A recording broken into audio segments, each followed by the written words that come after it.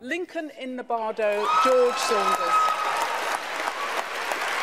It was a book on the afterlife, set in a Washington graveyard during the American Civil War, that was bestowed with Britain's top literary honor.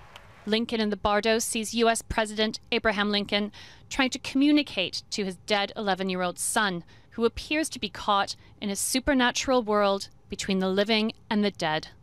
The story is told mostly in dialogue by dozens of spirits in the graveyard, with a grief stricken Lincoln at its center. George Saunders says the idea first came to him 20 years ago, and he had some doubts about bringing it to life.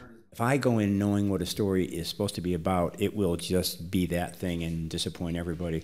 Whereas if I kind of go in from another doorway, which for me is usually my, you know, the sound of the language, or in this case, a lot of the structural things were kind of talking to me, then uh, the story that gets produced is higher than the one I could have imagined in, mm-hmm. in advance. So that's kind of a leap of faith that you know you think at at 58 you should have some kind of mastery, but I think the true mastery is, is to be willing to wade into something and not be sure how it's going to turn out. The novel was praised for its unusual format and writing style, something that many of the shortlisted novels had in common.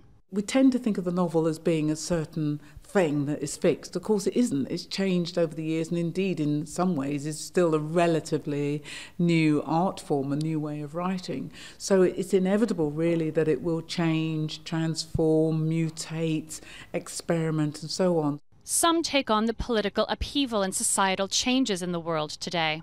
All across the country, people felt it was the wrong thing.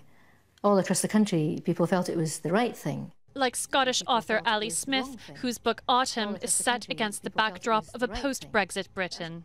In a city swollen by refugees, but still mostly at peace, or at least not yet openly at war. Or Mohsin Hamid's novel Exit West, which highlights mass immigration, oppression, and the search for freedom.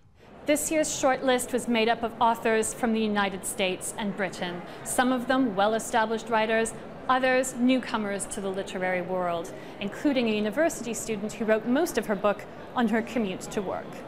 But for Saunders, he joins a distinguished group that includes Salman Rushdie, Hilary Mantel, Margaret Atwood, and Yann Martel. The nugget of an idea he said he had 20 years ago, grown into literary gold. Catherine Stancl, Al Jazeera, London.